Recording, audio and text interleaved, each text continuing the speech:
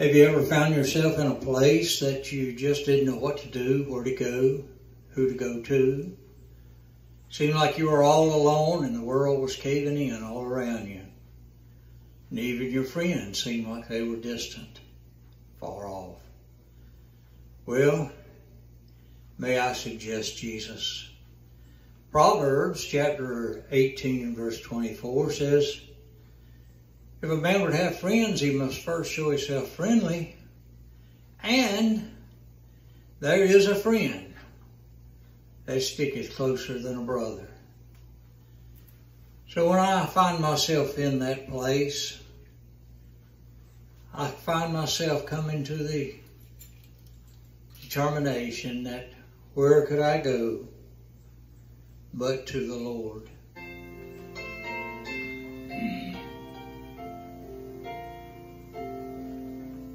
Living below in this old world of sin, hardly a comfort can afford.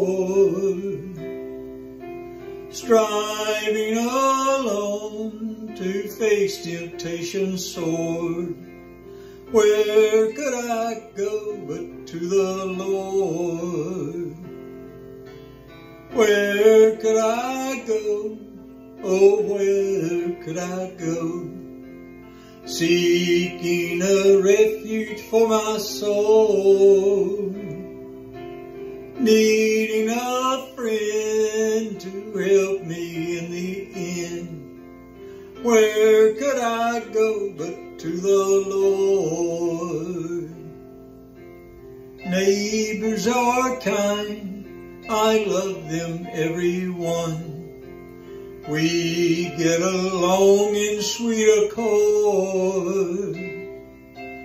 But when my soul needs manna from above, could I go but to the Lord? Where could I go? Oh, where could I go? Seeking a refuge for my soul.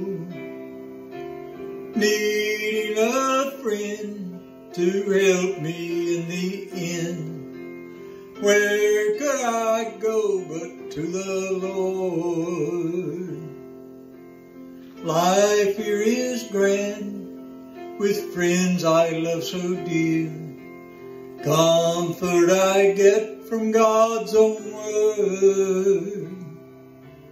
Yet when I face the chilling hand of death, where could I go but to the Lord? Where could I go?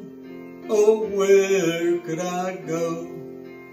Seeking a refuge for my soul.